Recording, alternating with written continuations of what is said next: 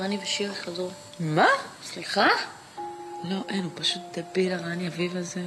הוא פשוט דפוק, מה זה? בוא'נה, אפילו הזוהר לאט הזה פחות טעים מה, ממנו. הוא דפוק לגמרי. מה עובר עליו? זה בטח בגלל שניסתה להתאבד, נכון? לא, פשוט הבחורה הזאת היא נחש צפה. נחש צפה נבלה, אני אומרת לך. נשבעת לך, אני לא אתפלא אם במקום כדורים בלעה מנטוס.